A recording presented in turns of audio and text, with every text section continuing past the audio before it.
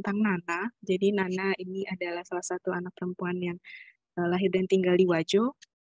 Uh, dari jadi dari kecil dia hanya tinggal dengan ibu dan juga kedua kakak perempuannya karena kebetulan uh, ayahnya meninggalkan mereka ketika masih balita.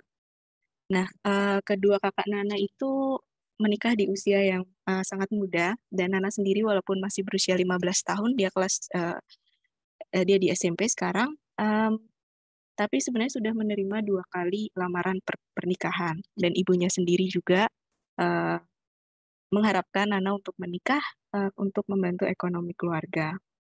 Namun uh, Nana uh, berani menolak dua kali lamaran tersebut karena uh, dia telah menerima informasi tentang uh, bahaya perkawinan anak, kemudian juga dari sekolahnya dia menerima informasi mengenai pendidikan keterampilan hidup di sekolah.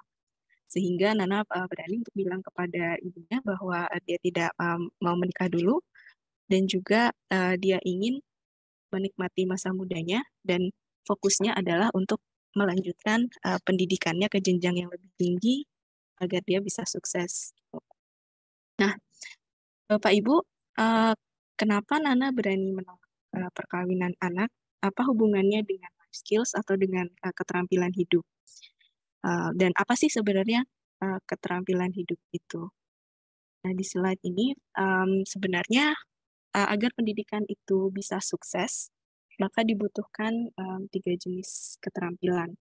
Yang pertama itu keterampilan akademik. Jadi ini adalah keterampilan uh, yang agar anak dapat memahami konsep-konsep dasar Nah, ini kan seperti literasi, membaca, kemudian numerasi, uh, hit, apa hitung ya, dan juga uh, sains. Nah, tapi di luar keterampilan akademik itu ada juga yang namanya keterampilan penghidupan. Nah, keterampilan penghidupan ini membantu anak-anak um, menguasai tugas-tugas praktis yang juga bi bisa digunakan untuk bekerja, seperti menjahit, make up, pertukangan, servis, ataupun pertanian. Nah, kemudian yang terakhir yang akan kita bahas ini adalah keterampilan hidup. Nah, keterampilan hidup ini membantu anak-anak untuk mengatasi tantangan kehidupan sehari-hari, termasuk menyelesaikan masalah, menjalin hubungan yang sehat dan saling menghormati, mengelola resiko, kemudian membuat keputusan dan bekerja sama uh, dengan orang lain. Nah, sebenarnya ketiga keterampilan ini itu tidak bisa berdiri sendiri. Jadi idealnya adalah anak-anak uh, bisa mendapatkan ketiga keterampilan ini uh, dan sekolah maupun uh, itu sebenarnya sekolah itu adalah uh, tempat di mana uh, harusnya anak-anak kita menerima ketiga keterampilan ini. Jadi tidak hanya keterampilan akademik, tapi juga keterampilan kehidupan untuk masa depan dan keterampilan hidup untuk uh, mengarungi uh, kehidupannya nanti.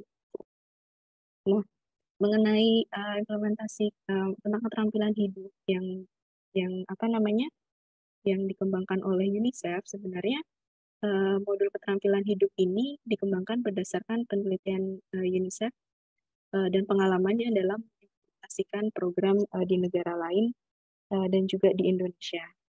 Nah, sebenarnya dari tiga uh, dari hasil penelitian tersebut uh, kita mengembangkan uh, tiga, ada ada 13 keterampilan hidup ya, yang bisa dilihat mungkin saya uh, tidak menjelaskannya satu-satu dan ini erat erat kaitannya dengan pendekatan dan juga program pendidikan yang saat ini uh, dipromosikan oleh Kemendikbud seperti high order thinking skills, kemudian pen, uh, PPK pendidikan penguatan karakter dan juga merdeka belajar.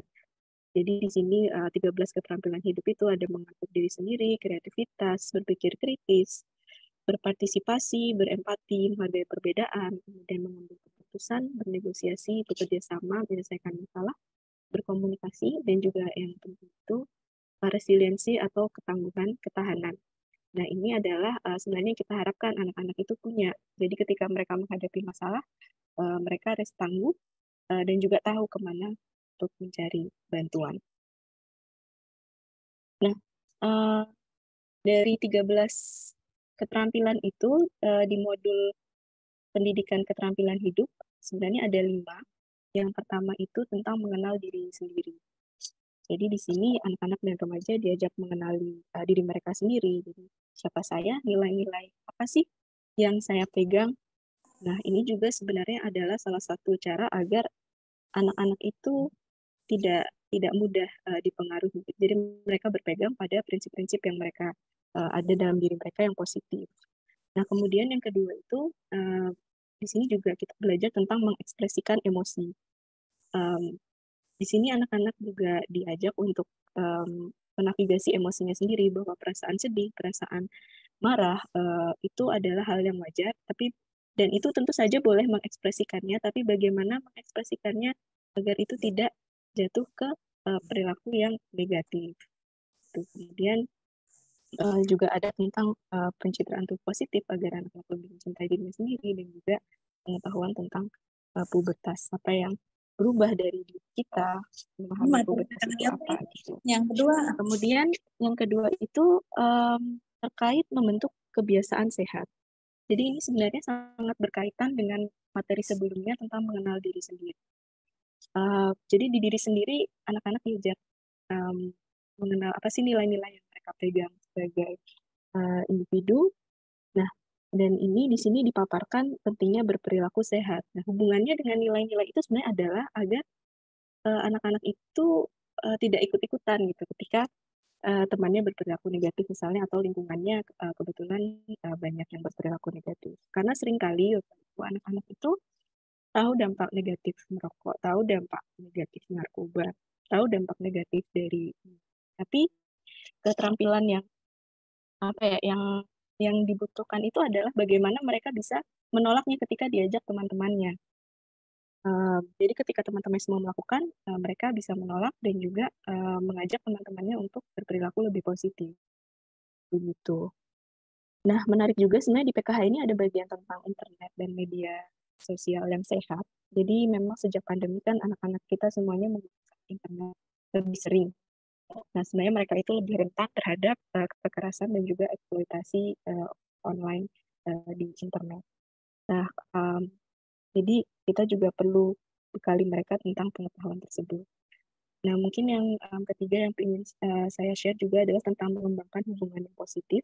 Jadi di PKH ini juga uh, diajarkan bagaimana uh, pentingnya bagi anak itu untuk membangun pertemanan dan juga uh, karena mereka ini kan untuk remaja ya sebenarnya bapak ibu dari tingkat SMP SMA uh, tingkat SMP SMA.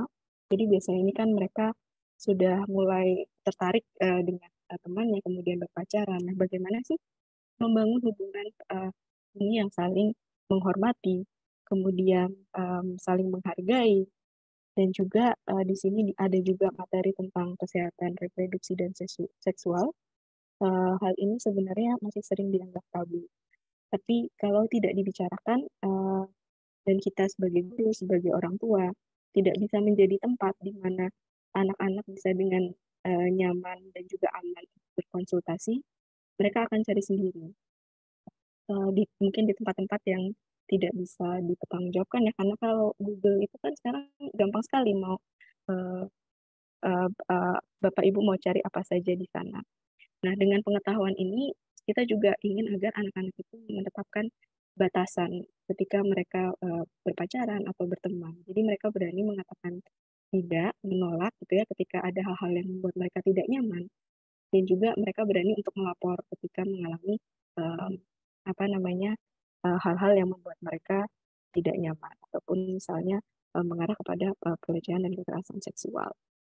Nah, um, dari PK ini sebenarnya uh, modelnya adalah uh, project based learning jadi ini juga apa namanya uh, selaras dengan prioritas Kemendikbud sekarang. Jadi uh, anak-anak tidak hanya menerima materi, tapi ini juga penuh dengan aktivitas dan di akhir mereka juga akan uh, ditantang untuk memulai proyek sendiri sebagai agen perubahan bagaimana mengajak teman-teman yang lain agar mendapatkan uh, uh, apa namanya pengetahuan yang sama dan juga mengajak mereka untuk uh, berperilaku lebih positif.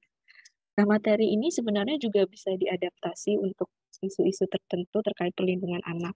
Misalnya untuk pencegahan bullying atau perhubungan, kita juga uh, punya program Roots, uh, pencegahan perundungan dengan Kemendikbud, uh, materinya juga uh, sebenarnya mirip gitu ya, karena ini juga mendorong perilaku positif. Kemudian untuk uh, isu perkawinan anak yang cerita Nana di awal tadi, kita juga gunakan ini sebenarnya agar anak-anak perempuan itu um, paham tentang apa namanya um, apa itu perkawinan anak dan juga bagaimana um, mencegahnya dan bersama-sama uh, mencegah perkawinan anak di lingkungannya. Nah, um, maka dari itu PKH ini menjadi salah satu strategi juga, uh, nasional dalam pencegahan kekerasan terhadap anak. Karena satu mereka memberdayakan anak-anak, kemudian meningkatkan uh, resiliensi atau daya lentingnya dan juga pengetahuan. Tapi tentu ini membutuhkan juga implementasinya sebenarnya kerjasama yang lintas sektor. Nah, implementasi PKH sendiri saat ini sebenarnya telah diterapkan di banyak satuan pendidikannya, uh, termasuk di SMP, SMA, SMK, madrasah, dan juga pesantren. Untuk madrasah dan pesantren mungkin lebih pada Kementerian uh, Agama yang yang melakukan. Nah, dan PKH ini sebenarnya juga dapat diadaptasi di um, komunitas atau di lingkungan masyarakat. Nah, um, ini bisa diakses sebenarnya di uh, program guru belajar untuk uh, para guru ya. Kalau ada mungkin bisa uh, cek di sana materinya uh, yang bisa diberikan ke anak-anak. Dan juga uh, untuk implementasi sendiri sebenarnya beberapa daerah seperti uh, Kabupaten Bone di Sulsel itu mereka memasukkan uh, PKH sebagai muatan lokal. Tapi uh, memang kita tahu bahwa di sekolah itu uh, baik itu di yang berbasis agama SMP, SMA, SMK, memang banyak kegiatan dan pelajaran gitu ya setiap hari dan guru juga punya banyak tanggung jawab untuk memberikan uh, apa materi pembelajaran setiap harinya. Nah, beberapa sekolah sebenarnya melakukan ini uh, menjadi materi MPLS atau mungkin zaman saya dulu namanya MOS gitu kan. Jadi ketika ada uh, siswa baru ini diberikan kepada mereka uh, madrasah juga uh, sudah uh, ada ada beberapa yang melakukan untuk memberikan materi ini saat MPLS. Nah, sebenarnya tergantung konteks masing-masing uh, daerah, masing-masing sekolah mana yang paling tepat untuk memasukkan materi PKH ini. Apakah mungkin tadi dari MPLS atau atau apa namanya jadi bagian dari ekstrakurikuler atau bagian dari pramuka itu itu um, bisa dilakukan juga. Dan fasilitator PKH ini sebenarnya tidak terbatas hanya guru, bahkan eh, teman-teman forum anak di Jawa Tengah dan Jawa Timur juga banyak yang um, uh, pernah dilatih untuk jadi fasilitator PKH.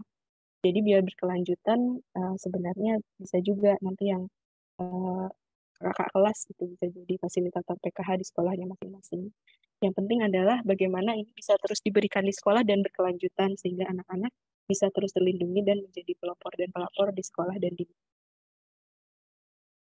Um, mungkin, um, itu, uh, presentasi dari saya, uh, akhir uh, kalau misalnya ada diskusi lain, um, bisa mungkin yang saya jawab. Akhir kata, izinkan saya menutup presentasi, uh, hari ini dari quote dari salah satu, um, anak perempuan juga dari Kabupaten Bandung. Jadi dia bilang, "Sebelum PKH, saya tidak tahu apa-apa soal perubahan pada tubuh atau hal sederhana seperti menjaga kebersihan saat sedang menstruasi. Saya juga menjadi tahu bahwa kehamilan di usia yang terlalu muda bisa membahayakan kesehatan bayi dan diri sendiri. Pelajaran berharga dari PKH untuk saya adalah tentang kasih sayang. Cinta itu bukan cinta kalau tidak ada rasa pertemanan dan saling menghormati. Terima kasih banyak. Uh, Assalamualaikum warahmatullahi wabarakatuh.